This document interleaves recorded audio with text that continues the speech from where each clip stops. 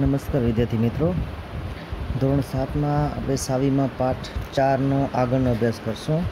અત્યાર સુધી કુલ બે ભાગ જોયા. બે ભાગમાં આપણે લાસ્ટ છેલ્લે મોઢેરનું સૂર્ય મંદિર રાણીની વાવ, સીધી શહેરની જાળી વડનગરનું કીર્તિતોરણ, પાળિયા, ચિત્રકલા, સંગીત અને સાહિત્ય વિશે આપણે વાત કરી. હવે આપણે આજે વાત કરશું લોકનૃત્ય અને હસ્તકલા.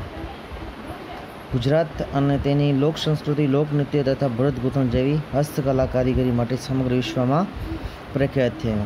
જેમાં ભવાઈ નાટક જેવા પ્રે- પ્રકારનો પણ સમાવેશ થાય છે. ભવાઈ લેખન અને ભજવવાનું શ્રેય અસાઈ ઠાકરને ફરી જાય છે.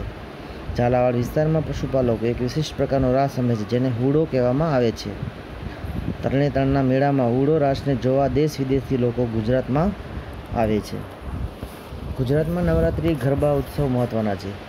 ગરબી પરથી ઉતરી આવેલ ગરબો શક્તિની આરાધના અને સ્તુતિ સાથે સંકળાયેલો છે.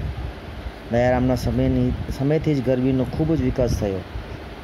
સ્ત્રી અને પુરુષ બંને નવરાત્રિમાં ગરબા, ગરબી અને રાસ દ્વારા ઉત્સવ ઉજવે છે.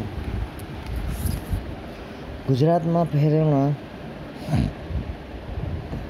અનેકવિધ વિશેષતાઓ જોવા મળે છે. જેમાં કચ્છનું ભરતકામ, મોતીકામ, પાટણના પટોળા, જામનગર અને જેતપુરની બાંધણી વિશ્વવિખ્યાત થયા છે. કચ્છના બની અને ખડીર વિસ્તારમાં કચ્છી સ્ત્રીઓ દ્વારા તૈયાર થયેલ ભરત ગૂંથણની વિશ્વભરમાં માંગ રહી છે. એ જ રીતે પાટણમાં છેક અગિયારમી બારમી સદીથી વિશિષ્ટ વણાટકામ સાથે સંકળાયેલ પટોળા પણ વિશ્વવિખ્યાત થયા છે. શહેરીકરણ આ સમયે શહેરોમાં, શહેરોના પુનઃ ઉત્થાન અને વિકાસનો હતો. ગુપ્તકાળના શહેરોની જગ્યાએ નવીન શહેરોનો ઉદય થયો. રાજપૂત રાજધાનીઓ મોટે ભાગે શહેરોમાં પલટાતી ગઈ. ગુજરાતમાં અનિલવાલ પાટણ, ચાંપાનેર, અમદાવાદ, સુરત ખંભાતનો સવિશેષ વિકાસ થયો. શહેરીકરણનું ચરમ બિંદુ આપણને દિલ્હીમાં જોવા મળે છે. રાજપૂત કાળથી મુઘલ કાળ સુધી વિકસતું ગયું.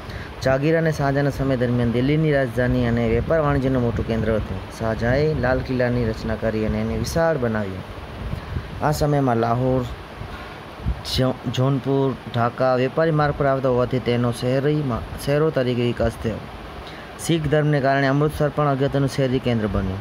દક્ષિણ ભારતમાં દેવગીરી, અત્યારનું દોલતાબાદ. ઉત્તર અને દક્ષિણને જોડતું સમૃદ્ધ શહેરી કેન્દ્ર બન્યું. મરાઠા સામ્રાજ્યમાં પુણે, સતારા, ગ્વાલિયર અને વડોદરા જેવા શહેરોનો વિકાસ પણ થયો. તો યુરોપિયન કંપનીઓના આગમનને કારણે દીવ, દમણ, ગોવા, મુંબઈ, મદ્રાસ, પુંડિચેરી, કોચી, ચંદ્રનગર અને સુરતનો શહેરી કેન્દ્રો તરીકે વિકાસ થયો હતો. વિજયનગરની રાજધાની હમ્પી હતું. હમ્પીમાં આવેલ વિદેશી મુસાફરીઓ હમ્પીના વિશિષ્ટ હુનર ઉદ્યોગોની માહિતી આપી છે. વિજયનગરથી સુતરાઉ કાપડ, રેશમી કાપડ, મસાલા સહિત ચીજવસ્તુઓ યુરોપમાં જતી. હમ્પીમાંથી ત્રણ પ્રકારના સુવર્ણ સિક્કો મળી આવે છે, જે દર્શાવે છે કે હમ્પી હુનર કલાનું અને વેપાર વાણિજ્યનું મોટું કેન્દ્ર હશે. ગુજરાતના ભરૂચ અને ખંભાત બંદર પછી ખાસ કરીને સોળમી સદીમાં સુરત ભારતનું મહત્ત્વનું વ્યાપારી કેન્દ્ર હતું.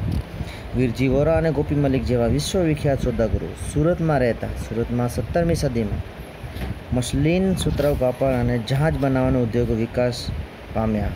જરી ભરત કાપડનો વિશ્વભરમાં સૌથી મોટો વેપાર સુરતથી થતો.